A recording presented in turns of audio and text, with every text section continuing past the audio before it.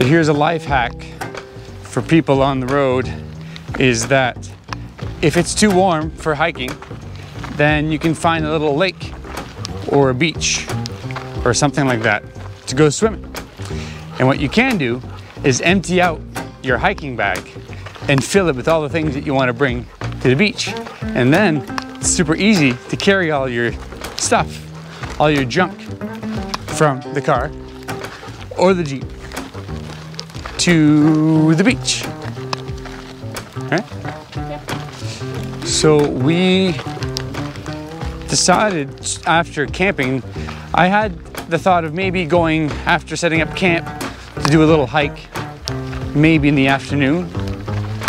But it's quite smoky and the views are quite minimal. And actually one of the places I wanted to go is actually directly right in front of my face over there, which is Signal Mountain, which you can tell just by the background that uh, it's quite smoky. But we were gonna planning on going all the way up the top of that mountain.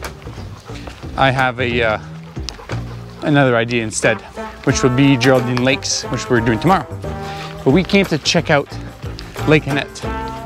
And uh, it's a very popular spot if we look at the parking lot, because we got here kind of late, like it's, yeah, it's almost six o'clock, 6 p.m. here.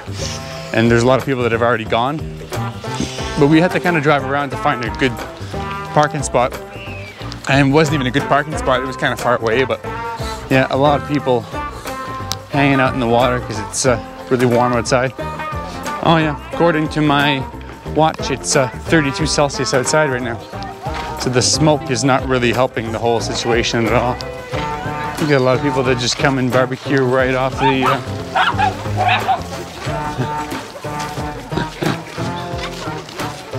right off the campground, uh, right off the lake. I guess it's a day use area, so you can use it to do whatever you want.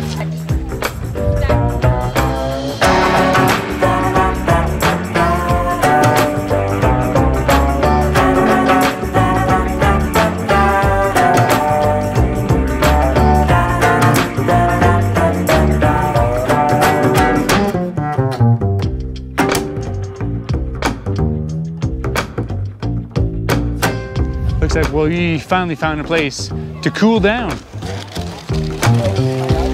Uh,